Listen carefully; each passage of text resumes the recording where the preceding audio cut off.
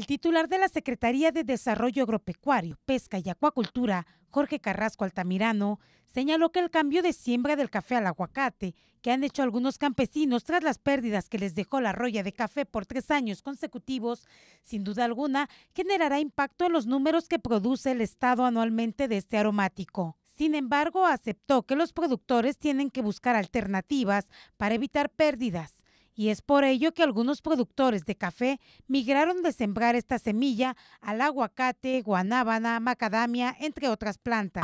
En las zonas más bajas están sembrando guanábana, están sembrando cacao, están sembrando eh, cultivos alternativos. Al final de cuentas, eh, en las zonas cafetaleras no nada más se produce café, se pueden producir muchas cosas más de manera eficiente. A mí me parece que el aguacate es una opción magnífica. El aguacate es una planta mexicana el aguacate se da muy bien desde los 800 metros hasta casi los 2.000 y tantos metros sobre el nivel del mar.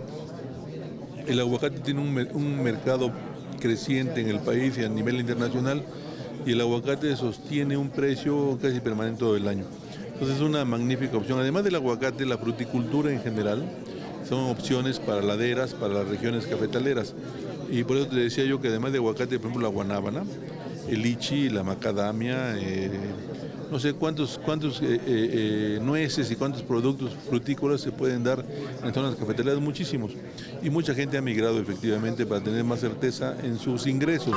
Detalló que hay algunos productores de café que aceptaron ir cambiando sus plantas enfermas por plantas nuevas en etapas, lo que les ha permitido que este año ya puedan cosechar por primera vez de los arbolitos sustituidos, ya que tardan en promedio tres años en comenzar a producir. No es una solución inmediata Tú siembras una planta hoy, tienes que esperarte por lo menos tres años sin que tengas una producción comercial, pero se está haciendo con éxito. ¿Eso qué implica? Que probablemente en un futuro no muy lejano se reduzca la superficie de café, pero tengan otras alternativas productivas nuestros productores de, estas regiones en el estado.